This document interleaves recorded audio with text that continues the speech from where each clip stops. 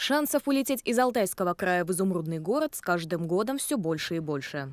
Этой весной жители региона уже четыре раза встретились с полевым вихрем. Воздушные столбы видели в краевой столице и на трассе Барнаул-Бийск. Природное явление возникает, когда теплая воздушная масса сталкивается с холодной и дополнительно получает увлажнение от поверхности Земли.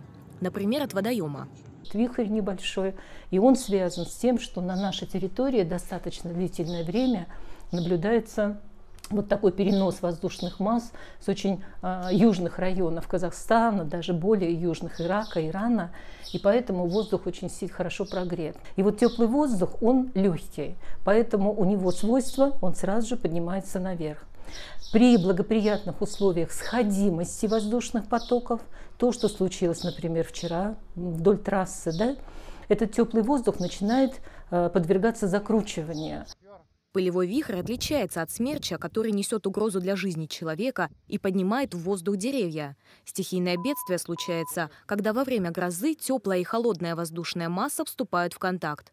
Между ними начинается конфликт, формируется фронт. Массы закручиваются против часовой стрелки. Из темного основания облаков на землю опускается воздушный столб, иногда в виде хобота. Смерч – это редкое явление в Алтайском крае, но вполне возможное. Нас ругают ученых, климатологов прежде всего. Когда мы говорим, климат меняется, тебя касается. Оно идет, глобальное потепление, идет с такими темпами.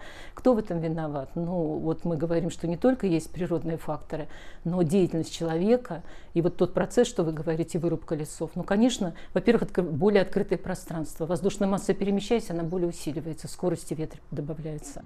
Сейчас ведущие специалисты края работают над созданием паспорта климатической безопасности региона. Для каждой отрасли разработают рекомендации, которые нужно будет неукоснительно соблюдать.